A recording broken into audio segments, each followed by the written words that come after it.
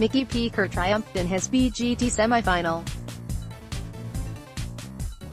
Tom Dymond, Syco, Thames ITV, musical comedian Micky P Kerr and gymnasts the Giang brothers are the latest acts voted into the Britain's Got Talent final. Kerr, a teacher, wowed the judges with his hilarious routine before topping the public poll. David Walliams lauded the performance, telling him he had an original comedy voice, while Simon Cowell said a long career beckoned. The Giang brothers, Tom Dymond, Syco, Thames ITV, he told Kerr, I think we have seen two comedians so far in the finals who I think we are going to see having a long-time career.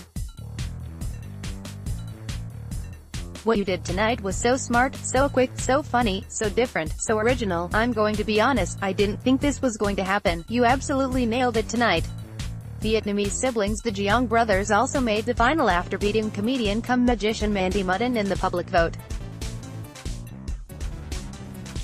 The judges had referred the choice back to the public after they were unable to decide who to put through. Father Ray Kelly was a surprise omission from the top three as he crashed out despite a heart-wrenching performance in memory of his sister who died of cancer.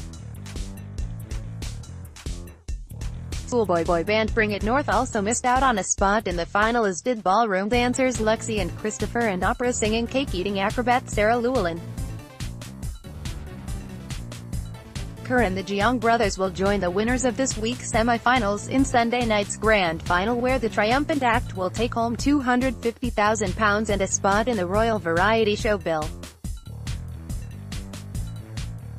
The 10 winners will be joined by a wildcard act, chosen by the judges, who failed to make it through in their semi-final.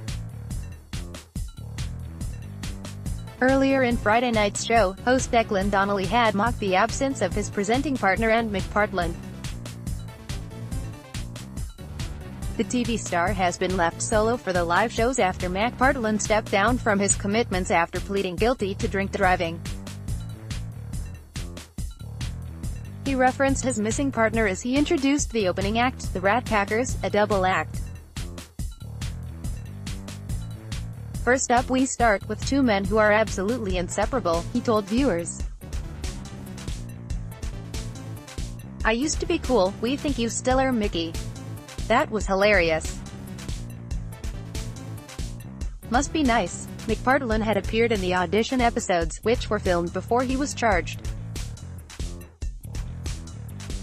He was banned from the road for 20 months and fined £86,000 after pleading guilty to driving while more than twice the legal limit. McPartlin, 42, also missed the final two episodes of his and Donnelly's Ant and Dec Saturday Night Takeaway. Robbie Williams was among the audience in the Apollo, giving the Rat Packers the thumbs up and posing for a snap with Alesha Dixon, Amanda Holden and Walliams.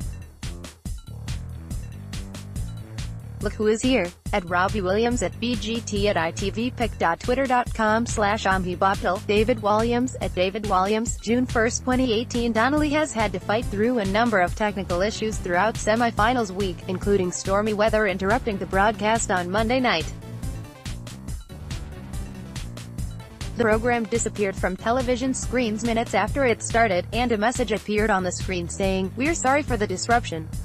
When the broadcast resumed, Donnelly announced that weather was to blame. The weather here in London has caused a few technical difficulties, he said. Simon Cowell chimed in, and, you are coming back next year. You didn't need to do that.